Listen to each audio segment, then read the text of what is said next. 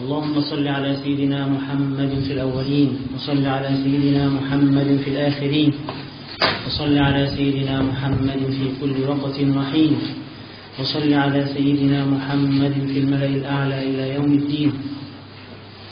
أما بعد حياكم الله. صدتم وطاب ممشاكم وتبوأتم من الجنة منزلا. أسأل الله سبحانه وتعالى أن يجعل هذه الأوقات في موازين حسناتكم. وأن ينفعنا وإياكم بما نسمع إنه ولي ذلك والقادر عليه. وبشركم وبشر نفسي بحديث رسول الله صلى الله عليه وسلم الذي يقول فيه إن أولى الناس بي يوم القيامة أكثرهم علي صلاة. فهذه مجالس هذه المجالس كما قلنا قبل ذلك في الصلاة على رسول الله صلى الله عليه وسلم. فنحن نكثر في هذه المجالس من ذكر رسول الله صلى الله عليه وسلم. نكثر من ذكره بألفاظنا ونكثر من ذكره بقلوبنا ونكثر من ذكره بعقولنا. فنزداد معرفة بقدره الشريف صلى الله عليه وسلم. القاضي عياض عندما ألف هذا الكتاب أراد أن يكون هذا الكتاب تعريفا بحقوق رسول الله صلى الله عليه وسلم على الأمة. ولن تستطيع الأمة ولن يستطيع أي أحد أن يعرف حقوق حقوق رسول الله صلى الله عليه وسلم إلا إن عرف قدره الشريف.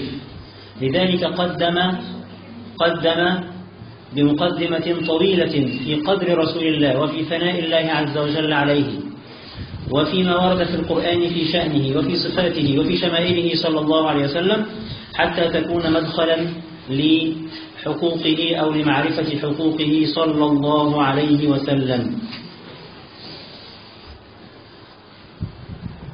قلنا إن هذا المجلس هو مجلس في الصلاة على رسول الله صلى الله عليه وسلم. قد يقول بعض الناس إن معرفة قدر رسول الله صلى الله عليه وسلم تكفي فيها جلسة أو جلستان أو خطبة أو خطبتان أو دورة أو دورتان ثم ينفض السامر أو ينفض المجلس بعد ذلك ويذهب كل واحد منا في حاله. نقول أو يعني نرد على هذا فنقول إنه الإكثار من ذكر رسول الله صلى الله عليه وسلم حتى وإن عرفنا حقوقه صلى الله عليه وسلم غرض في حد ذاته. لأنه لفظ الإكثار في السنة النبوية. فهنلاحظ أن سيدنا النبي صلى الله عليه وسلم ميز في أحاديثه بين من يصلي عليه فقط دون إكثار وبين من يكثر من الصلاة عليه صلى الله عليه وسلم. فجعل لمن يصلي عليه فقط فضائل وثواب وأجر وجعل لمن يكثر عليه من الصلاة عليه صلى الله عليه وسلم فضائل أخرى وأجرا أعلى. فنحن عندما نجتمع كل أسبوع لنجلس في هذه الجلسة فنحن نطمع أن نكون ممن يكثر من ذكر رسول الله صلى الله عليه وسلم. وما ساعة وما ساعتان في الصلاة على رسول الله صلى الله عليه وسلم. لا شيء. من فضائل الإكثار من ذكر رسول الله صلى الله عليه وسلم كما قلنا في بداية في بداية الكلام إنه أكثر الناس عليه صلاة صلى الله عليه وسلم هم أولى الناس بشفاعته يوم القيامة. فيقول النبي صلى الله عليه وسلم أولى الناس بي يوم القيامة أكثرهم علي صلاة. يعني أولى الناس يعني أحق الناس به صلى الله عليه وسلم. طيب ما معنى أحق الناس به أيضا؟ يعني أحق الناس به يعني أحق الناس بشفاعته أحق الناس بموالاته أحق الناس بنصرته أحق الناس بالقرب منه أحق الناس بالشرب من يديه الشريفتين أحق الناس ليكونوا معه في الجنة أحق الناس بمجاورته وهكذا وهكذا. فالنبي صلى الله عليه وسلم يقول إن أولى الناس بي يعني أحق الناس بي يوم القيامة أكثرهم علي صلاة. كذلك النبي صلى الله عليه وسلم يقول إن أكثر الناس صلاة عليه هم الذين سينالون رضا الله سبحانه وتعالى عند لقائه. فيقول النبي صلى الله عليه وسلم من سره أن يلقى الله راضيا. طبعا راضيا. من الراضي ومن المرضي عنه؟ العبد راض. والله عز وجل راض. كلاهما راض. كقوله تعالى رضي الله عنهم ورضوا عنه.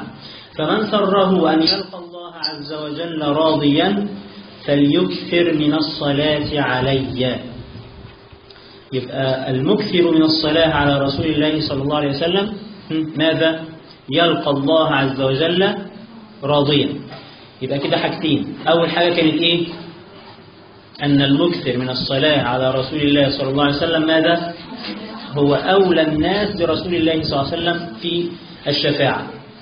اثنين أن المكثر من الصلاة على رسول الله صلى الله عليه وسلم يلقى الله عز وجل راضيا. ثلاثة المكثر من الصلاة على رسول الله صلى الله عليه وسلم في ظل عرش الله يوم القيامة.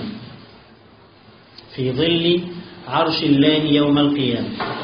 طبعا كلنا حافظين الحديث سبعة يظلهم الله في ظله يوم لا ظل إلا ظله طبعا ليس منها المكثر من الصلاة على رسول الله صلى الله عليه وسلم لكن في أحاديث كثيرة جاء فيها نفس هذا المعنى. إن من فعل كذا فهو في ظل عرش الله يوم القيامة. فتحديد النبي صلى الله عليه وسلم سبعة يظلهم الله في ظله كما يقول علماء الحديث السبعة هنا عدد لا مفهوم له. يعني الأمر مش قاصر على السبعة بس ولكن هناك آخرون سيذكرون في بقية الأحاديث. زي بالضبط النبي صلى الله عليه وسلم لما بشر عشرة بالجنة وقال أبو بكر في الجنة عمر في الجنة عثمان في الجنة إلى آخر الحديث. هل هؤلاء العشرة هم فقط الذين بشرهم النبي صلى الله عليه وسلم بالجنة أبدا إنه يبشر غيرهم. وهكذا. فإذا المكثر من الصلاة على رسول الله صلى الله عليه وسلم في ظل عرش الله وهذا ورد في أحاديث أخرى منها قول النبي صلى الله عليه وسلم ثلاثة تحت ظل عرش الله يوم لا ظل إلا ظله. ثلاثة تحت ظل عرش الله يوم لا ظل إلا ظله. إيه فائدة أن تكون في ظل عرش الله يوم القيامة؟ إيه الفائدة؟ النبي صلى الله عليه وسلم يخبرنا في أحاديث أخرى إنه يوم القيامة يوم طويل شديد على الخلق. حتى يتمنى الناس الانصراف من هذا الموقف ولو إلى النار.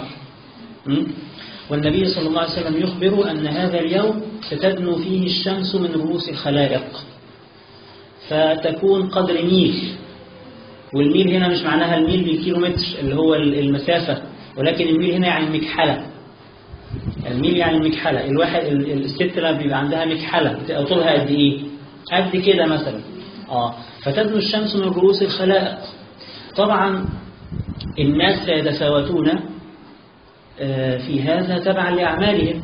فمنهم من يبلغ العرق نتيجة قرب الشمس هذا فمنهم من يبلغ العرق إلى كعبين. ومنهم من يبلغ العرق إلى ركبتين. ومنهم من يبلغ العرق إلى نصفه ومنهم من يصل العرق إلى صدره ومنهم من كما يقول النبي صلى الله عليه وسلم ومنهم من يلجمه العرق إلجاما. بحسب تفاوت الأعمال. سيدنا النبي صلى الله عليه وسلم مع هذا الوصف المريع قدم لنا في أحاديث المخرج. فحدثنا عن ناس ما لهمش علاقة بالموضوع ده كله.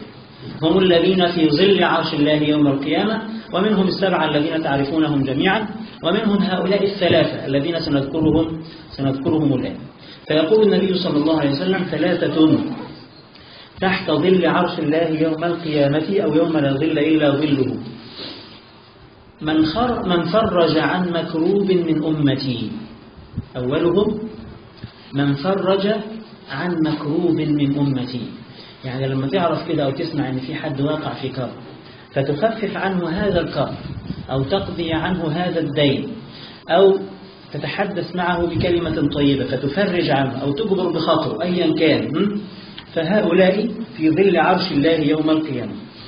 ومن أحيا سنتي من أحيا سنتي وسنن النبي صلى الله عليه وسلم التي اختفت كثيرا. فلما تيجي حضرتك كده في وسط أصحابك في العمل أو في وسط جيرانك أو في وسط أولادك. وتحيي سنة من سنن النبي صلى الله عليه وسلم التي اختفت فيرجى لك أن تكون تحت ظل عرش الله يوم القيامة. إحنا بهذا المجلس بالمناسبة بنحيي أيضا سنة من سنن رسول الله صلى الله عليه وسلم. لما النبي يحث الأمة على الصلاة عليه صلى الله عليه وسلم. ثم لا يوجد في الأمة أو لا يكاد يوجد في الأمة من يصلي عليه صلى الله عليه وسلم. فإذا الأمر الآن أصبح خطير فنحتاج دائما إلى أن إحنا نعقد المجالس. زمان الناس الطيبين في القرى وفي النجوع وفي المدن قبل ظهور الفضائيات كان يوم في الأسبوع يوم في الأسبوع عندهم مجلس لقراءة البردة البردة النبوية الشريفة التي ألفها الإمام البصيري رضي الله عنه وفيها مدح لرسول الله وخصائص رسول الله وأخلاق رسول الله صلى الله عليه وسلم. وكان لما يجي المولد النبوي الشريف الناس يقعدوا في البيوت والعلماء يعقدوا في المساجد مجالس كثيرة لتذكير الناس بأخلاق رسول الله صلى الله عليه وسلم وقراءة جانب من السيرة. وألفت كتب لهذا الجانب مخصوص. كتب اسمها المولد. لماذا؟ لتحث الناس على تذكر رسول الله صلى الله عليه وسلم ولو في أوقات مولده صلى الله عليه وسلم. يعني الغافل البعيد عن الله سبحانه وتعالى أقل القليل بالنسبة له أن يذكر رسول الله صلى الله عليه وسلم أن يذكر رسول الله صلى الله عليه وسلم ولو في يوم مولده فتذكر رسول الله والصلاة على رسول الله صلى الله عليه وسلم سنة من السنن التي أريدت والتي أحييتموها بحضوركم في هذه المجالس رضي الله عنكم. يقول النبي صلى الله عليه وسلم ثلاثة تحت ظل عرش الله يوم لا ظل إلا ظله. من فرج عن مكروب من أمتي ومن أحيا سنتي ومن أكثر الصلاة علي كثيرا. ومن أكثر الصلاة علي كثيرا. يعني من صلى علي صلاة كثيرة. مش مجرد بس إنك تقول صلى الله عليه وسلم لما يذكر اسمه ولكن أن تجعل لنفسك وردا من الصلاة على رسول الله صلى الله عليه وسلم. ثم تزيد في هذا الورد كلما استطعت. فتأخذ نفسك بالإيه؟ بالتدريج. تبدأ بالصلاة على رسول الله 100 مرة في اليوم مثلا. ثم بعد ذلك يبقوا 200 حتى تصل إلى آلاف المرات كل يوم. هتقول لي هجيب وقت منين؟ ابدأ بس أنت وهتلاقي الدنيا الوقت بيمتد معاك. لأنه هذا الزمن بيد من؟ بيد الله سبحانه وتعالى. من الذي يملكه الله سبحانه وتعالى؟ الله سبحانه وتعالى قد يمط لك ويمد لك الدقيقة الواحدة فتصلي فيها على رسول الله صلى الله عليه وسلم ما شئت. لذلك لما نيجي نقرأ مثلا في سير الصحابة وفي سير التابعين رضي الله عنهم ونسمع إن واحد منهم كان يقيم الليل كله أو يقرأ القرآن كله في ركعة. هتيجي حضرتك تحسبها بعقلك هتقولي إزاي؟ الواحد عشان يختم القرآن كله محتاج على الأقل 8 ساعات. فإيه معقولة يعني ما قعدش من العشاء للفجر؟ وأحيانا يكون المسافة بين العشاء والفجر أقل من سبع ساعات. ده على فرض إن هو قام من العشاء إلى الفجر. إيه السر؟ السر البركة. هذا الزمن بيد الله سبحانه وتعالى. يمده لمن يشاء ويبارك فيه لمن يشاء. في حاجة اسمها البركة يا جماعة. في حاجة اسمها البركة. ما عادت موجودة الآن. لكن الله سبحانه وتعالى يعيدها لمن يشاء إذا شاء سبحانه وتعالى. بإذن ثلاثة تحت ظل عرش الله يوم لا ظل إلا ظله من فرج عن مكروب من أمتي ومن أحيا سنتي ومن أكثر الصلاة علي كثيرا. يبقى كده كم؟ ثلاث. واحد من فرج عن مكروب من أمتي ومن أحيا سنتي ومن أكثر الصلاة علي كثيرا. طيب كده كم واحد في فضائل الإكثار من الصلاة على رسول الله صلى الله عليه وسلم؟ برضو ثلاثة. إيه هم أولى الناس بشفاعته صلى الله عليه وسلم. اثنين ها يلقى الله راضيا. ثلاثة يكون في ظل عرش الله يوم القيامة. رقم أربعة شفاعة الرسول صلى الله عليه وسلم وشهادته له. شفاعة الرسول صلى الله عليه وسلم وشهادته له. داخلة فيها نعم. يقول النبي صلى الله عليه وسلم من صلى علي عشرا من صلى علي عشرا صلى الله عليه بها مئة ومن صلى علي مئة صلى الله عليه بها ألفا ومن زاد عن ألف يعني صبابة وشوقا إنه مش هيزيد عن ألف مش ألف في العمر طبعا. لكن اللي بيزيد عن ألف ده يبقى على الأقل خالص في اليوم. ولا يفعل ذلك إلا من تعلق قلبه برسول الله صلى الله عليه وسلم. ومن زاد عن ذلك صبابة وشوقا يعني حاله وهو يزيد الشوق وتعلق القلب برسول الله صلى الله عليه وسلم. ومن زاد عن ذلك صبابة وشوقا كنت له شفيعا وشهيدا يوم القيامة. كنت له شفيعا وشهيدا يوم القيامة. خمسة بعدين خمسة أن من يكثر على رسول الله صلى الله عليه وسلم هم أقرب الناس إليه صلى الله عليه وسلم. يقول النبي صلى الله عليه وسلم أكثروا من الصلاة علي في يوم الجمعة. أكثروا من الصلاة علي في يوم الجمعة. يبقى إحنا استفدنا الآن إن إحنا سنكثر من الصلاة على رسول الله في كل الأيام. لكن يوم الجمعة مؤكد سنزيد من الصلاة عليه صلى الله عليه وسلم. أكثروا من الصلاة علي في يوم الجمعة فإن صلاتكم معروضة علي. فإن صلاتكم معروضة علي. يعني إيه معروضة علي؟ يعني يقال لرسول الله صلى الله عليه وسلم فلان ابن فلان صلى عليك صلاة. أو صلى عليك صلاتين. أو صلى عليك ثلاثا. أو صلى عليك ألفا. فمن كان أكثرهم صلاة كان أقربهم مني منزلة. يبقى كأن كل من يصلي على سيدنا النبي صلى الله عليه وسلم هم قريبون من النبي صلى الله عليه وسلم. لكنهم معه صلى الله عليه وسلم كالدائرة التي حولها دوائر. فدائرة قريبة ودائرة ثانية أبعد قليلا ودائرة ثالثة أبعد وأبعد وكلهم حول رسول الله صلى الله عليه وسلم. وكلهم أقرب من رسول الله صلى الله عليه وسلم من غيرهم ممن لم يصلي عليه أبدا. يبقى إذن أقرب الناس لرسول الله صلى الله عليه وسلم هم من؟ أكثرهم عليه صلاة صلى الله عليه وسلم.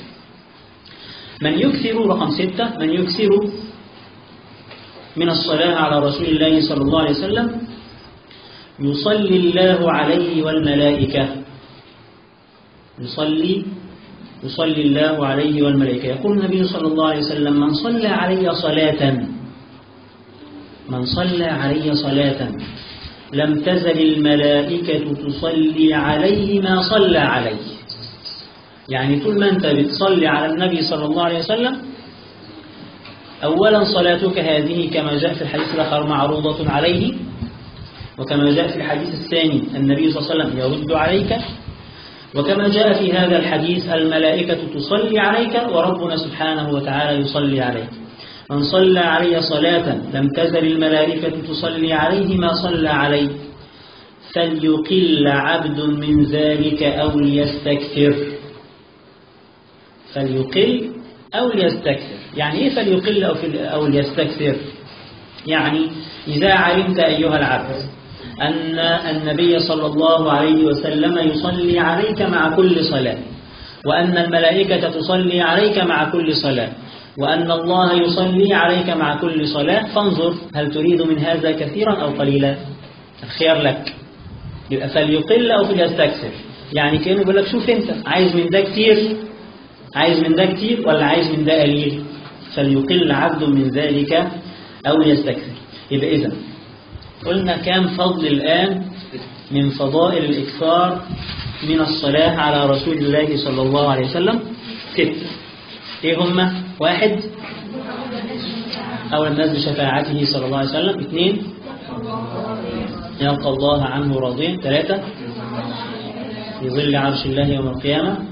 أربعة ينال شفاعة النبي صلى الله عليه وسلم. خمسة. أقرب الناس من النبي صلى الله عليه وسلم مجلسا. ستة. يصلي الله عليه والملائكة. طيب إحنا قرأنا المرة اللي فاتت الفصل الكم الأول من كتاب الشفاء. يتكلم عن إيه الفصل ده؟ إحنا قلنا إن الفصل الأول كان في تعداد محاسن النبي صلى الله عليه وسلم التي وردت في القرآن.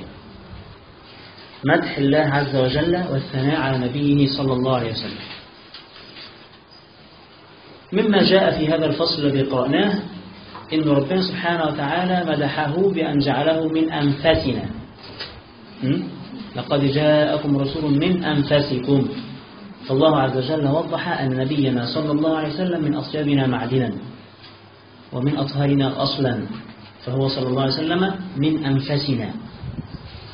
ووصفه الله عز وجل بأنه عزيز عليه ما عنتم. عزيز عليه ما عنتم يعني يعز عليه صلى الله عليه وسلم أن يتعنت أحد معه أو أن يكفر به صلى الله عليه وسلم. كما قال الله عز وجل فلا تذهب نفسك عليهم حسرات. وكما قال الله تعالى فلعلك باخع نفسك ألا يكونوا مؤمنين. فهذا مدح لرسول الله صلى الله عليه وسلم من شدة حرصه على من يدعوهم ومن شدة خوفه على الناس فهو عزيز عليه. ما عنتم ده أول حاجة إيه؟ أنه من أنفسنا. اثنين أنه عزيز عليه ما عنتم ثلاثة حريص عليكم. حريص عليكم. يعني حريص على من آمن به فيعلمه ما ينفعه وما يقربه إلى الله تعالى. حريص عليكم. ثم هو في حرصه علينا صلى الله عليه وسلم وصفه ربنا فقال رؤوف رحيم. ورؤوف رحيم من أسماء الله تعالى. الله عز وجل أكرم نبينا صلى الله عليه وسلم بأن أعطاه اسمين من أسمائه عز وجل. إذن رسولنا صلى الله عليه وسلم من أنفسنا. حريص علينا. عزيز عليه ما عنتم بالمؤمنين رؤوف رحيم. ثم وصفه ربنا سبحانه وتعالى في القرآن بأنه نور.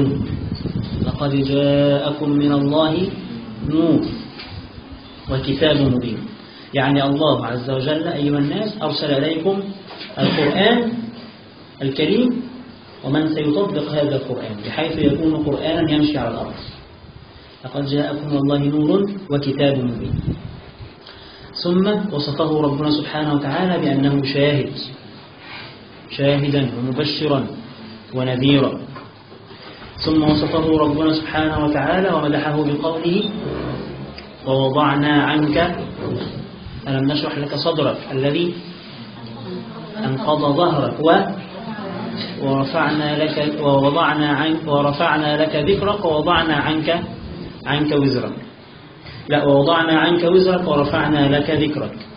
فهذا مدح أيضا لنبينا صلى الله عليه وسلم لأن الله عز وجل وضع عنه الأثقال التي قد الأثقال التي قد يحملها فوق ظهره. وضعها الله عز وجل عنه فغفر الله عز وجل له ما تقدم وما تأخر عليه. ورفع الله عز وجل ذكره. كيف رفع الله سبحانه وتعالى ذكر نبينا صلى الله عليه وسلم؟ قرن الله عز وجل بينه وبينه. فلا يصح الدخول في الإسلام إلا بأن تشهد أن محمد رسول الله كما تشهد أن أنه لا إله إلا الله. كيف رفع الله سبحانه وتعالى ذكره أيضا؟ بأن أوجب الإيمان به وأوجب طاعته وقرن بينه وبينه في وجوب الطاعة والإيمان. في آيات كثيرة جدا في القرآن. الله عز وجل أيضا وصف نبينا صلى الله عليه وسلم بأنه هو الصراط المستقيم. لماذا؟ لأن طريقه هو الصراط المستقيم صلى الله عليه وسلم. ووصفه ربنا سبحانه وتعالى بأنه هو النعمة. وإن تعدوا نعمة الله لا تحصوها. فرسول الله صلى الله عليه وسلم هنا هو النعمة لماذا؟ لأن كل النعم الحاصلة لهذه الأمة حصلت بسبب بعثة نبينا صلى الله عليه وسلم. كل إكرام لله عز وجل لنا حصل بسبب بعثة نبينا صلى الله عليه وسلم. فأكبر نعمة التي نشأت منها كل النعم هي نعمة بعثة النبي صلى الله عليه وسلم. والله عز وجل أيضا مدحه في القرآن بقوله والذي جاء بالصدق وصدق به. فرسولنا صلى الله عليه وسلم هو الذي جاء بالصدق يعني بالكلام الصادق من قبل الله سبحانه وتعالى بالوحي الذي لا يأتيه الباطل من بين يديه ولا من خلفه. وهو الذي صدق به وآمن به فهو أول المسلمين صلى الله عليه وسلم. ورسولنا صلى الله عليه وسلم أيضا وصفه ربنا بأنه تطمئن به القلوب. ألا بذكر الله تطمئن القلوب. وذكر الله عز وجل لا يتم إلا بذكر من بلغنا عن الله تعالى. فذكر الله عز وجل يتضمن ماذا؟ ذكر من كان سببا في إيصال هذا الخير هذا الخير إلينا. فبذكرنا لله عز وجل وبذكرنا لنعمة إرسال الله تعالى تطمئن تطمئن قلوبنا. وقفنا هنا المرة اللي فاتت. الآن بنبدأ نقرأ في الفصل الثاني. في وصفه له تعالى بالشهادة وما يتعلق بها من الثناء والكرامة. تفضل. الفصل الثاني في وصفه تعالى له بالشهادة وما يتعلق بها من الثناء والكرامة. قال الله تعالى يا أيها النبي إنا أرسلناك شاهدا ومبشرا ونذيرا. جمع الله تعالى له في هذه الآية ضروبا من رتب الأسرة وجملة أوصاف من من آه الأسرة يعني المك- ال- المكرمة. المكرمة. فجعله شاهدا على أمته على أمته لنفسه بإبلاغهم الرسالة وهي من خصائصه صلى الله عليه وسلم ومبشرا لأهل طاعته ونذيرا لأهل معصيته وداعيا إلى توحيده وعبادته وسراجا منيرا مهتدى به للحق حدثنا الشيخ أبو محمد بن عتاب حدثنا أبو القاسم حاتم بن محمد حدثنا أبو الحسن القادسي حدثنا أبو زيد المروزي حدثنا أبو عبد الله محمد بن يوسف حدثنا البخاري حدثنا محمد بن سنان حدثنا فليح حدثنا هلال عن عطاء بن يسار قال لقيت عبد الله بن عمرو بن العاص فقلت أخبرني عن صفة رسول الله صلى الله عليه وسلم. قال أجل والله إنه لموصوف في التوراة لبعض صفاته في القرآن. يا أيها النبي إن أرسلناك شاهدا ومبشرا ونذيرا وحرزا للأميين أنت عبدي ورسولي سميتك المتوكل. ليس بفظ ولا غليظ ولا سخاب في الأسواق. ولا يدفع السيئة بالسيئة ولكن يعفو ويغفر.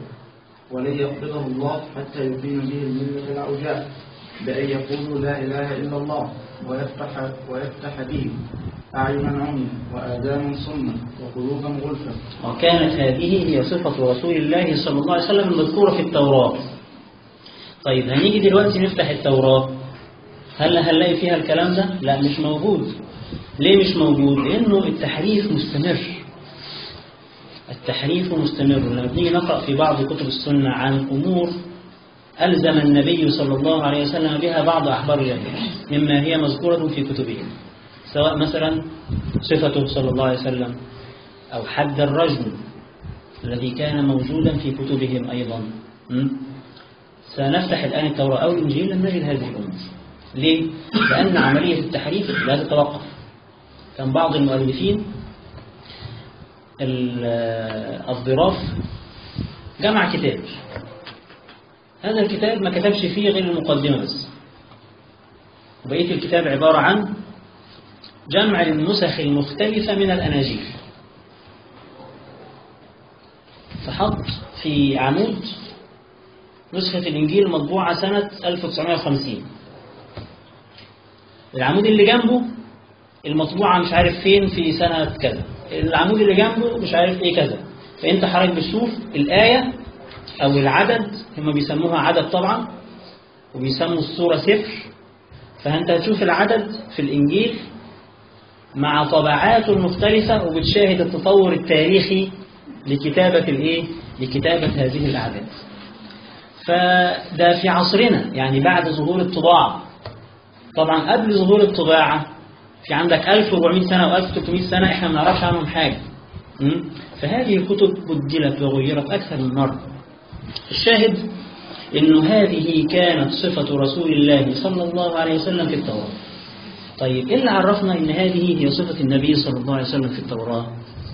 هذا هو الذي رواه من أسلم من أهل الكتاب. في ناس كانوا من أحبارهم. وكانوا من كبرائهم لما أسلموا قالوا أيوة كانت هذه هي صفة رسول الله صلى الله عليه وسلم في التوراة. كانت صفة كذا وكذا وكذا. لذلك ربنا في القرآن لما تحدث عنهم قال الذين آتيناهم الكتاب يعرفونه يعني يعرفون نبوته وصفته كما يعرفون أبناءهم. سيدنا عمر بن الخطاب رضي الله عنه جه في يوم من الأيام سأل سيدنا عبد الله بن سلام الصحابي الذي كان من أهل الكتاب وأسلم. قال له يعني خبرني عن هذه الآية. كيف كيف تعرفون رسول الله صلى الله عليه وسلم؟ قال له والله لمعرفتنا برسول الله صلى الله عليه وسلم أشد من معرفتنا بأبنائنا. فإن المرأة قد تخون. احتمال ولا واحد في المليون. لكن إيماننا بما في الكتب برسول الله صلى الله عليه وسلم لا يتخلف. يعني لا يتطرق إليه أي شك. ومن هنا كانت معرفتهم برسول الله صلى الله عليه وسلم أشد وأوثق من معرفتهم بأبنائهم. فهذه هي صفة النبي صلى الله عليه وسلم في كتب أهل الكتاب. يا أيها النبي إنا أرسلناك شاهدا ومبشرا ونذيرا وحرزا للأميين. الأميين هم آه العرب. أو كل من هو ليس من أهل الكتاب. وما زال هذا اللفظ يستخدم في كتب أهل الكتاب فاليهود يسمون غير اليهود الأمميين. يعني ترجمات التلمود تذكر هذا اللفظ الأمميين يعني الأمم المختلفة من غير اليهود. وحرزا للأمي حرزا يعني إيه حرزا؟ يعني حافظا. فالله عز وجل حفظ العالم ببعثته صلى الله عليه وسلم فهو رحمة للعالمين كما وصفه ربنا سبحانه وتعالى. وإلا لو لم يبعث رسول الله صلى الله عليه وسلم لاستمر الناس في كفرهم. ولو استمر الناس في كفرهم لنزل بهم العقاب المستحق من الله سبحانه وتعالى. فبعث الله عز وجل لنبينا صلى الله عليه وسلم رحمة للعالم حتى لا ينزل بالناس العقوبة. أو يستحقوا النار. وحرزا للأميين أنت عبدي ورسولي. مهمة جدا أنت عبدي ورسولي حتى لا يدعى في رسول الله صلى الله عليه وسلم ما ادعته النصارى في نبيهم. وحتى لا يدعي في رسول لا يدعى في رسول الله صلى الله عليه وسلم ما ادعاه اليهود في عزير. وحتى لا يدعى في رسول الله صلى الله عليه وسلم ما ادعته العرب في الملائكة فينسبون الأبوة أو البنوة لله عز وجل ولنبيه صلى الله عليه وسلم. فهو عبد ككل من بعثه الله سبحانه وتعالى. عبد رسول لكنه مكرم في أعلى درجات التكريم فهو صلى الله عليه وسلم الإنسان الكامل. وحرزا للأميين أنت عبدي ورسولي سميتك المتوكل. يعني إيه المتوكل؟ الذي يسلم أمره لله. فهو لم يختر أن يكون نبيا وإنما اختاره الله. وهو لم يختر أن يولد في هذه الأسرة الشريفة فالذي اختار له هو الله سبحانه وتعالى. وهو لم يختر أن يبعث إلى العرب أو للعالمين فالذي اختار له هو الله سبحانه وتعالى. ثم هو صلى الله عليه وسلم في كل شؤونه كان متوكلا على الله سبحانه وتعالى كان مفوضا أمره لله سبحانه وتعالى. يأمره الله تعالى بأن قم فأنذر فيقوم فينذر. ثم يبتلى بالحصار فيصبر. ثم يؤمر بالهجرة فيهاجر. ثم يؤمر بالقتال فيقاتل. وهكذا وهكذا. فأمره صلى الله عليه وسلم كله تسليم وتوكل على الله سبحانه وتعالى. سميتك المتوكل. ليس بفظ ولا غليظ. فظ وغليظ يعني ليس بقاسي وإنما هو رحيم رؤوف محب للناس يحب لهم الخير يحنو عليهم مؤمنهم وكافرهم حتى كان صلى الله عليه وسلم يقف إذا مرت عليه جنازة يهودي. ويحزن فيقول إنها نفس تفلتت مني. وهو صلى الله عليه وسلم كان أولى الناس بالناس. فكان إذا مات مسلم يقول للناس من كان عليه دين فأنا قاضيه فأنا أولى الناس به. فكان إذا مات مسلم من المسلمين كان صلى الله عليه وسلم يقضي وعلم أن عليه دينا كان صلى الله عليه وسلم يقضي عنه يقضي عنه ما علم من ديونه. سميتك المتوكل ليس بفظ ولا غريب ولا صخاب في الأسواق. صخاب في الأسواق يعني يضرب في الأسواق ويتاجر فيها كناية عن التعلق بالدنيا. فهو صلى الله عليه وسلم لا يتعلق قلبه إلا بالله. ورسولنا صلى الله عليه وسلم لم يكن فقيرا. كما يقول الخطباء على المنابر. النبي ما كانش فقير. وإنما اختار الله سبحانه وتعالى. سيدنا النبي صلى الله عليه وسلم كان له خمس الفيء وكان له القدر الكبير في الغنائم. فكان لوحده صلى الله عليه وسلم بياخد خمس ثروة المسلمين. ثم كانت تأتيه الهدايا من هنا ومن هناك لكنه صلى الله عليه وسلم كان أجود من الريح المرسلة وكان أجود ما يكون في رمضان. فاختار جانب الله سبحانه وتعالى. وفضل الآخرة على الدنيا صلى الله عليه وسلم.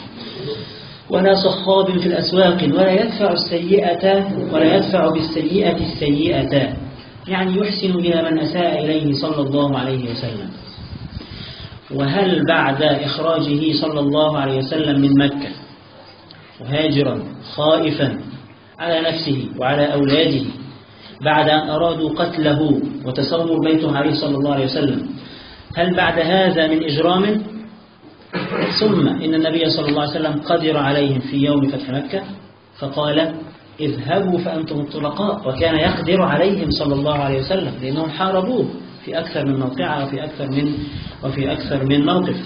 ومع ذلك فإنه صلى الله عليه وسلم لا يدفع بالسيئة السيئة عملا بقول الله تعالى ادفع بالتي هي أحسن السيئة. فإذا الذي بينك وبينه عداوة كأنه ولي حميم. ولكن يعفو ويغفر ولن يقبضه الله حتى يقيم به الملة العوجاء. الملة العوجاء هي كل ملة غير الإسلام. فديانات العرب ملة عوجاء ديانات الفرس ملة عوجاء ديانات الروم في هذا الوقت دي ملة عوجاء ديانات العالم كلها ملل عوجاء لن يقبضه الله تعالى حتى يبلغ للناس الملة المستقيمة أو الصراط المستقيم أو حتى يعرف الناس طريق الحق. فيقيم الحجة عليهم صلى الله عليه وسلم وهذا ما فعله نبينا صلى الله عليه وسلم. بأن يقول لا إله إلا الله ويفتح به أعينا عمياء. ويفتح يعني وحتى يفتح يعني أن يقبضه الله تعالى حتى يفعل ويفعل ويفعل ومنها ويفتح ويفتح أعينا عمياء ما معنى أعينا عمياء آه هذا كناية. مش مش العيون عمياء حقيقة. ولكن المراد بالعيون هنا هنا ماذا؟ عيون القلوب عيون البصائر عمياء. فيرسله الله عز وجل ليفتح ليفتح ماذا؟ هذه العيون التي في القلوب فيرون الحق حقا ويرون الباطل باطلا. وآذانا صما. نفس الكلام. أذن لا تسمع إلا الباطل فيرسله الله عز وجل ليميز الناس به بين الحق والباطل والباطل. فيكون صلى الله عليه وسلم هو الفرقان بين الحق والباطل. وقلوبا غلفا. نفس الكلام. قلوب؟ مالها؟ قلوب؟ آه. قلوب غلف يعني قلوب مغطاة نتيجة المعاصي والكفر بالله سبحانه وتعالى فيزيل هذا الغطاء الكثيف على هذه القلوب لتستطيع هذه القلوب أن تعرف ربها سبحانه وتعالى. وذكر مثله عن عبد الله بن سلام وكعب الأحبار. عبد الله بن سلام وكعب الأحبار الاثنين كانوا من علماء أهل الكتاب الذين من الله عز وجل عليهم بالإسلام فأصبحوا من كبار الصحابة. ماشي تفضل. وذكر مثله عن عبد الله بن سلام وكعب الأحبار وفي بعض طرقه عن ابن إسحاق. ولا صخب في الأسواق. ولا صخب ولا صخب في الأسواق. ولا متزين ولا متزين بالفرش ولا قواد بالحمد يسدده لكل جميل. وأهب له كل خلق كل خلق كريم. وأجعل السكينة لباسه. والبر شعاره والتقوى ضميره والحكمة معقوله والصدق والوفاء طبيعته والعفو والمعروف خلقه والعدل سيرته والحق شريعته والهدى إمامه والهدى إمامه والإسلام ملته وأحمد اسمه. أهدي به بعد الضلال وأعلم به بعد الجهل وأعلم به بعد الجهال وأرفع به بعد الكمال وأسمي به بعد المكرم وأكثر به بعد القلة وأغني به بعد وأكثر به بعد القلة وأغني به بعد العيلة.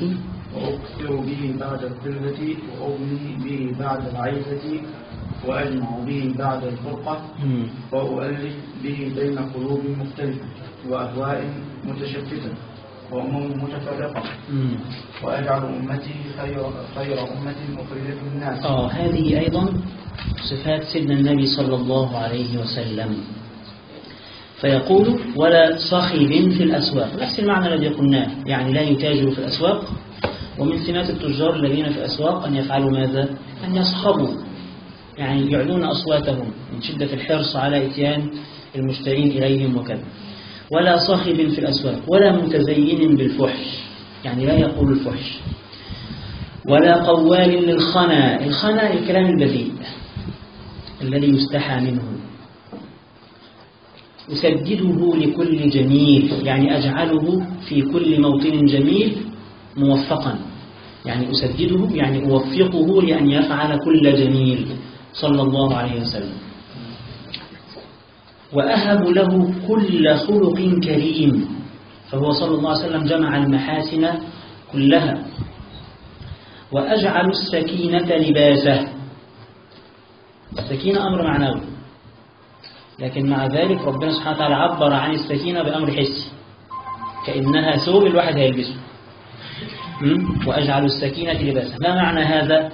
إنه السكينة تلفه صلى الله عليه وسلم وتغطيه صلى الله عليه وسلم فهو من مبدئه إلى منتهاه في سكينة ومن يجالسه تصيبه السكينة ومن يؤمن به أيضا يكرم بالسكينة. وأجعل السكينة لباسه والبر شعاره. البر كلمة جامعة لكل خصال الخير. كلمة جامعة لكل خصال الخير. شعاره يعني سيدنا النبي صلى الله عليه وسلم أيضا كان دأبه وشعاره. الشعار هنا قد يكون بمعنى أيضا اللباس? وقد يكون بمعنى المبدأ الذي يتبع. وعلى أيهما فسيدنا النبي صلى الله عليه وسلم كان أبر الناس بالناس صلى الله عليه وسلم. والتقوى ضميره يعني الخوف من الله سبحانه وتعالى يملأ جوانحه صلى الله عليه وسلم. والحكمة معقوله يعني عقله صلى الله عليه وسلم مملوء بالحكمة. وما الحكمة؟ الحكمة هي وضع الشيء في موضعه. فعقله صلى الله عليه وسلم مملوء بالحكمة. من الذي وضع الحكمة في عقله؟ الله عز وجل. والصدق والوفاء طبيعته. والعفو والمعروف خلقه. والعدل سيرته. والحق شريعته. والهدى إمامه.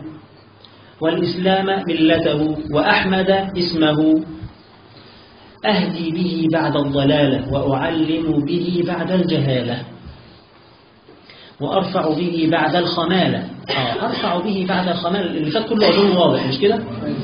وأرفع به بعد الخمالة العرب كانوا أذل أمة على وجه الأرض. كانوا رعاة الغنم فلما بعث فيهم نبينا صلى الله عليه وسلم صاروا قادة للأمم. مفيش حد بيدخل الإسلام إلا يقول سيدنا أبو بكر سيدنا عمر. سيدنا أبو عبيدة بن الجراح من الذي رفعهم؟ الإسلام. وصار كل مسلم مؤمن به صلى الله عليه وسلم يريد أن يتعلم اللغة العربية. يتعلم القرآن. لقد أنزلنا إليكم كتابا فيه ذكركم. الآية هذه الله عز وجل وجهها لكفار للكفار كفار قريش وغيرهم ممن كفر برسول الله صلى الله عليه وسلم من العرب كأن الآية تقول لهم يعني يا مجانين إذا كنتم تريدون شرفا وعزا فعزكم في الإيمان به صلى الله عليه وسلم لماذا؟ لأنه نبي من عند الله نزل معه كتاب بلغتكم فالأمم ستعظمكم وتحترمكم وتجعل لكم مكانا. حتى غير المسلمين الآن ممن يريدون يتعرفوا على تاريخ الأمة العربية وغيرها أو تاريخ الإسلام يتعلموا اللغة العربية.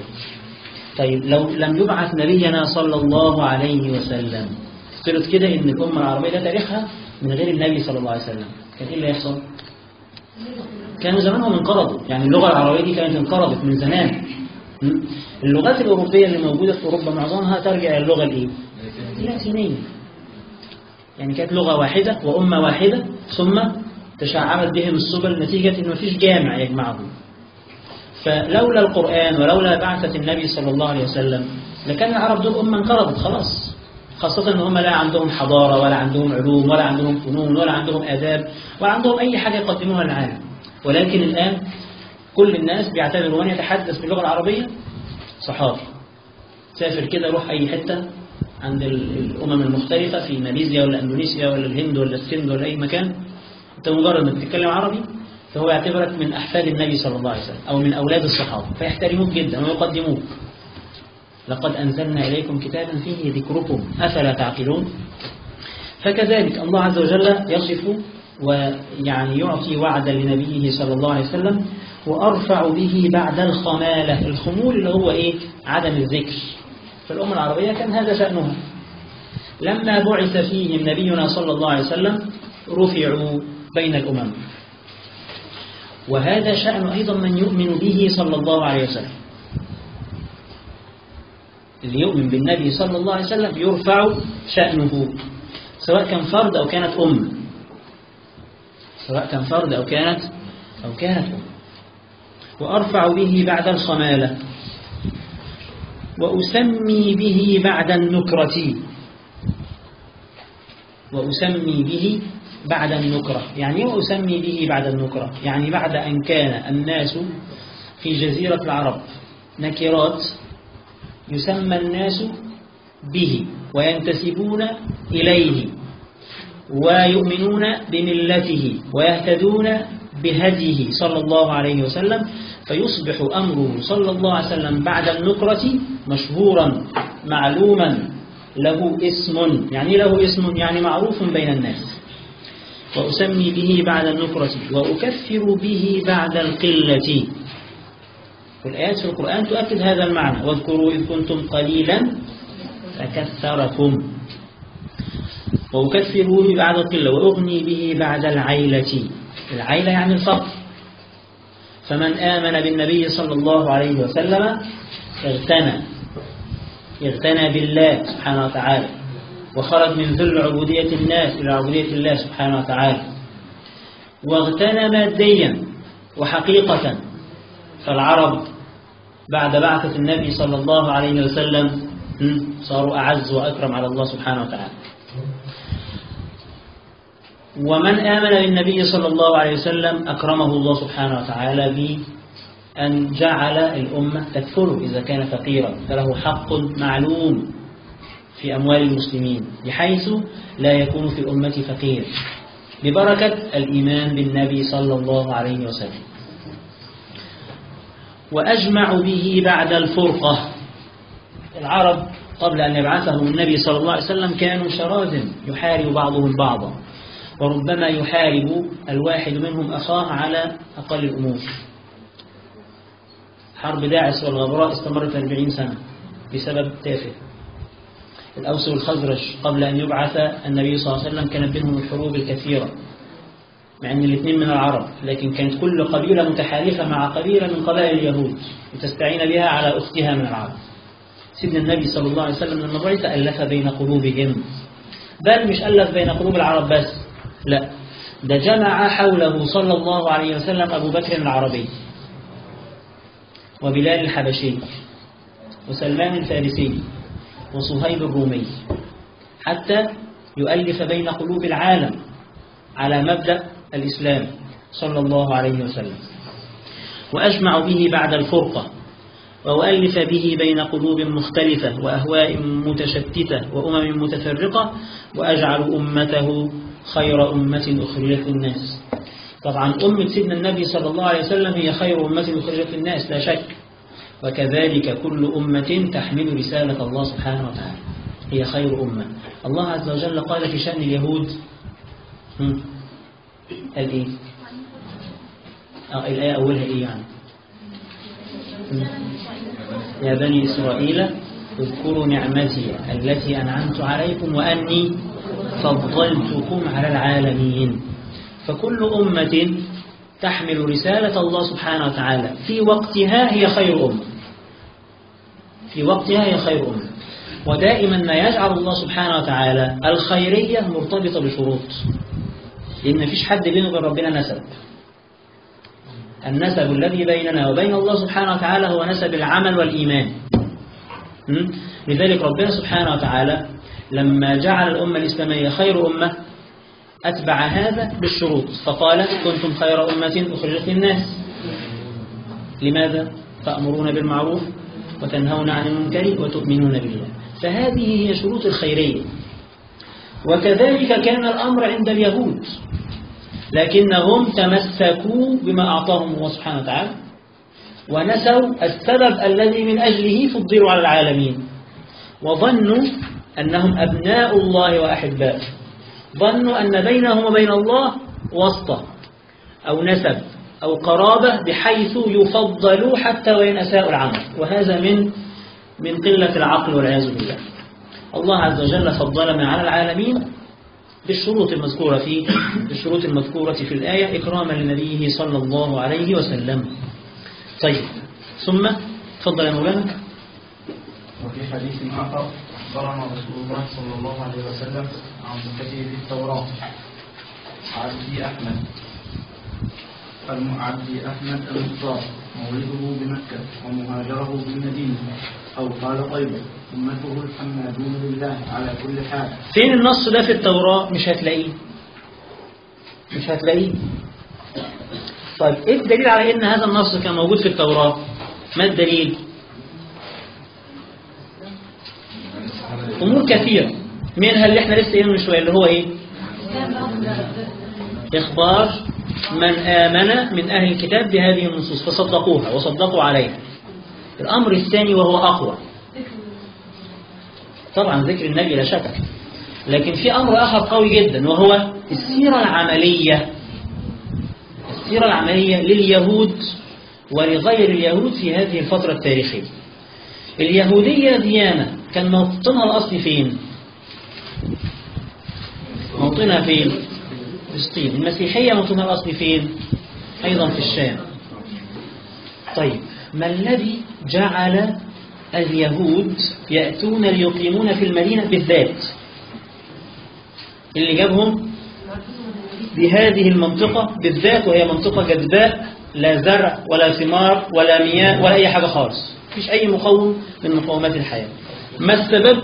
السبب هو أنهم كانوا في انتظار النبي الموعود في كتبهم. لذلك كانوا لما يتخانقوا مع العرب من الأوس أو الخزرج ها يقول لهم إيه؟ يوشك أن يبعث نبي منا. فإذا بعث حاربناكم أو قاتلناكم وقتلناكم معه قتل عاد وإرم. مش معنى عاد وإرم؟ لأن عاد وإرم أجداد العرب. فبيقول لهم هنعمل فيكم زي ما اتعمل فيكم زمان. فإيه كانوا منتظرين سيدنا النبي صلى الله عليه وسلم في المدينة وما حولها لأنه كان في المدينة في ثلاث قبائل من قبائل اليهود بنو قريظة بنو قينقاع وبنو النضير وكان في حول المدينة أيضا زي يهود خيبر? فإيه اللي جابهم هذه المنطقة؟ إيمانهم. ببعثة نبي في آخر الزمان قد أضل زمانه. الأمر الآخر المهم إنه هذا الكلام كان معروف حتى لغير اليهود يبقى كان معروف هذا الكلام لليهود كان معروف هذا الكلام للعرب لأنه كان بيتقال لهم من اليهود? وكان معروف لغير اليهود ولغير العرب سلمان الفارسي ده كان إيه؟ من فارس وفارس كانوا بيعبدوا إيه؟ كانوا بيعبدوا النار إيه اللي جاب سلمان الفارسي يعيش في هذه المنطقة من العالم في هذا الوقت بالذات الذي بعث فيه النبي صلى الله عليه وسلم قصة سيدنا سلمان الفارسي معروفة يا ريت حضراتكم تقرأوها اليوم اللي ما يعرفهاش. سيدنا سلمان الفارسي راح من بلد لبلد لبلد ويسأل من حبر لحبر لحبر حتى عاش في المدينة منتظرا النبي صلى الله عليه وسلم. وكان عنده صفات سيدنا النبي صلى الله عليه وسلم التي تعلمها من أحبار اليهود والنصارى. وهو بنفسه لم يؤمن بسيدنا النبي صلى الله عليه وسلم حتى اختبره وفقا لما معه من صفات. فكان من صفاته التي تعلمها سلمان الفارسي رضي الله عنه أنه صلى الله عليه وسلم يقبل الهدية ولا يأكل الصدقة وعند كتفه خاتم النبوة. فيجي سيدنا سلمان الفارسي سيدنا النبي صلى الله عليه وسلم في يوم بطبق تمر يقول له هذا صدقة. فسيدنا النبي بكل تلقائية يقول لأصحابه تفضلوا كلوا. طبعا ما حدش فاهم حاجة خالص لكن سيدنا النبي صلى الله عليه وسلم هذه طبيعته. سيدنا سلمان لقط العلامة. يجي ثاني يوم لسيدنا النبي صلى الله عليه وسلم بطبق يقول له هذا هدية. فيأخذ النبي صلى الله عليه وسلم منه شيئا ثم يدعو أصحابه ليأكلوا. فيلاحظ الفرق أيضا. يجي سيدنا النبي بعد كده ويقعد يلف حواليه. سيدنا النبي يفهمه فيروح كشف له عن كتفه الشريف صلى الله عليه وسلم ليرى خاتم يرى خاتم النبوة. فمن هو سلمان الفارسي؟ مش عربي. من هو سلمان الفارسي؟ مش من أهل الكتاب ولكنه تعلم ذلك من أهل الكتاب. يبقى إذا علمنا يقينا بناء على هذه الوقائع التاريخية المذكورة في الكتب التي لا يشكك فيها أحد أو في صحتها أحد إنه كانت صفة النبي صلى الله عليه وسلم المذكورة لنا في السنة النبوية مذكورة في كتب أهل الكتاب لكنها حرفت لكنها محيت لكنها لكنها لكنها احتمالات كثيرة. لكن الذي يثبت صحة ما أخبرنا به الوقائع التاريخية التي لا يشك فيها اثنان ولا ينتطح فيها عن زين. ماشي تفضل. وقال تعالى الذين يتبعون الرسول النبي الأمي وقد قال تعالى فبما رحمة من الله لنت لهم قال السمرقندي ذكرهم الله ذكرهم الله تعالى من ندوا أنه جعل رسوله صلى الله عليه وسلم رحيما بالمؤمنين رؤوفا لينا ولو كان فظا خشنا في القول لتفرقوا من حوله ولكن جعله الله تعالى سمحا سهلا طلقا ضرا لطيفا هكذا قاله تعالى يعني افترض الآن أن الله عز وجل بعث لنا رسولا يأمر فيطاع. ثم إن هذا الرسول ليس سمحا ليس رؤوفا ليس رحيما وعليك أن تنفذ. هل كنت حضرتك هتقدر تعترض؟ هل في حد يملك الاعتراض على أمر الله؟ ربنا يقول لك أطع هذا الشخص فهو رسولي. هل تملك اعتراض أبدا. لذلك رحمة من الله سبحانه وتعالى أن يرسل إلينا رسولا. يحب لنا الخير؟ وهو في محبته لنا للخير. رؤوف رحيم سمح عفو. لا يقابل السيئة بالسيئة. رغم إن إحنا اللي محتاجين إليه وإحنا اللي بنسيء إليه وهكذا. تفضل وقال تعالى وكذلك جعلناكم أم- أمة وسطا لتكونوا شهداء على الناس ويكون الرسول عليكم شهيدا. قال أبو الحسن القادسي أبان الله تعالى فضل نبينا صلى الله عليه وسلم وفضل أمته بهذه الآية. وفي قوله في الآية فقرة وفي هذا ليكون الرسول شهيدا عليكم وتكونوا شهداء على الناس. وكذلك قوله تعالى يبقى سيدنا النبي صلى الله عليه وسلم شهيد علينا. يعني إيه شهيد علينا؟ يعني يشهد أمام الله سبحانه وتعالى أنه بلغ الرسالة وأدى الأمانة ونصح الأمة. ثم تفضيلا لنبينا صلى الله عليه وسلم ثواني. ثم تفضيلا لنبينا صلى الله عليه وسلم جعلنا الله عز وجل نقوم تجاه الأمم الأخرى بنفس وظيفة النبي صلى الله عليه وسلم معنا. فنحن نشهد أمام الله سبحانه وتعالى على الأمم المختلفة أن أنبياءهم قد بلغوا الرسالة وأدوا الأمانة ونصحوهم وبلغوهم. طيب كيف تقبل شهادتنا في شيء لم نره. كيف؟ لأنه ثبت عندنا صدق النبي صلى الله عليه وسلم. ورسولنا صلى الله عليه وسلم أخبرنا وهو الصادق المصدوق أن هؤلاء الأنبياء بذلوا وسعهم وبلغوا أممهم ولم يقصروا في هذا البلاغ أو هذا البيان. وبالتالي جعل الله سبحانه وتعالى تبليغ النبي صلى الله عليه وسلم لنا مدخل لإكرامنا بأن نشهد على على سائر الأمم. نعم تفضل. وكذلك قوله تعالى فكيف إذا جئنا من كل أمة بشهيد؟ وقوله تعالى وسطا أي عدولا خيارا. ومعنى هذه الآية وكما هديناكم فكذلك خصصناكم وفضلناكم بأن جعلناكم أمة خيارا عدولا لتشهدوا للأنبياء عليهم الصلاة والسلام على أممهم ويشهد لكم الرسول بالصدق قيل إن الله جل جلاله إذا سأل الأنبياء هل بلغتم فيقولون نعم فتقول أممهم, أممهم ما جاءنا من بشير ولا نذير. فتشهد أمة محمد صلى الله عليه وسلم للأنبياء ويزكيهم النبي صلى الله عليه وسلم. وقيل معنى الآية إنكم حجة على كل من خالفكم والرسول صلى الله عليه وسلم حجة عليكم. حكاه السمرقندي وقال تعالى وبشر الذين آمنوا أن لهم قدم صدق عند ربهم. قال قتادة والحسن وزيد بن أسلم قدم صدق هو محمد صلى الله عليه وسلم يشفع لهم وعن الحسن أيضا هي مصيبتهم بنبيهم. وعن أبي سعيد الخدري رضي الله عنه هي شفاعة نبيهم محمد صلى الله عليه وسلم هو شفيع صدق عند ربهم. وقال سهل بن عبد الله التستري تستري. تستري. هي سابقة رحمة أودعها في محمد صلى الله عليه وسلم. وقال محمد بن علي الترمذي هو إمام الصادقين والصديقين الشفيع المطاع والسائر المجاب. محمد صلى الله عليه وسلم. وبشر الذين آمنوا أن لهم الذين آمنوا بمحمد صلى الله عليه وسلم. لهم بشرى. ما هي هذه البشرى؟ أن لهم عند الله عز وجل منزلة ومكانة. ما هي هذه المنزلة والمكانة؟ ما تقدم لهم. الذي تقدم لهم في علم الله تعالى أنهم من أمة محمد صلى الله عليه وسلم. يعني كأن ربنا سبحانه وتعالى يريد أن يقول في هذه الآية وبشر الذين آمنوا أن لهم عند الله منزلة. أن لهم عند الله مكانة. كيف حدثت لهم هذه المكانة وهذه المنزلة؟ بسيدنا محمد صلى الله عليه وسلم. عشان كده بعض المفسرين يقول إن قدم الصدق هو بعثة النبي أو هو النبي صلى الله عليه وسلم معنى واحد.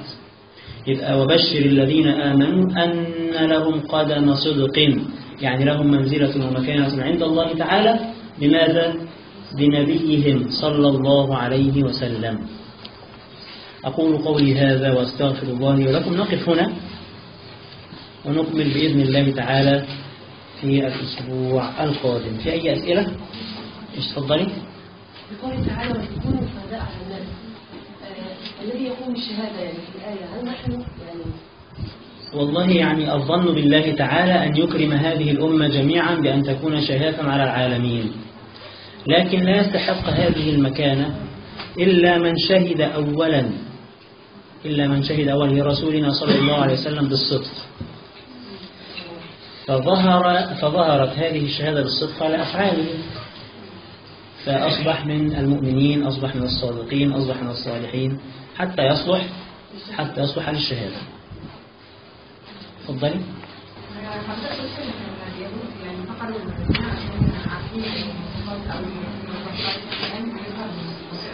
حضرتك قلت عارف كان في في منطقة نجران ومملكة كندا في الجزيرة العربية كانت كلها نصارى كانت مملكة نصرانية أصلا. الجزيرة العربية كانت مليئة بأهل الكتاب مش فقط وثنيين. كان فيها وثنيين كان فيها طوائف مختلفة من اليهود طوائف مختلفة من النصارى. ولما حضرتك تقرأي عن وفد نصارى نجران ومقابلة سيدنا النبي صلى الله عليه وسلم ونزول صدر سورة آل عمران أول سورة عمران كله نزل في وفد نصارى نجران اللي جم ليتحدثوا مع النبي صلى الله عليه وسلم في أمر ألوهية عيسى. من العرب نقف هنا ونكمل بإذن الله تعالى في المرة القادمة. سبحانك اللهم وبحمدك أشهد أن لا إله إلا أنت أستغفرك وأتوب إليك.